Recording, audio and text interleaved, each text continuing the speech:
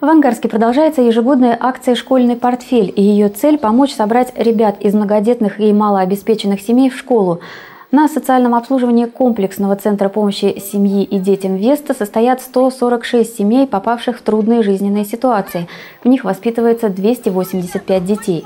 Каждый ребенок нуждается в поддержке, поэтому работники социальной службы просят подключиться всех неравнодушных ангарчан.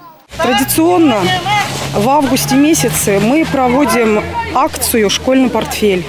Обращаемся к гражданам города, предпринимателям оказать посильную помощь в помощи детям из малообеспеченных семей.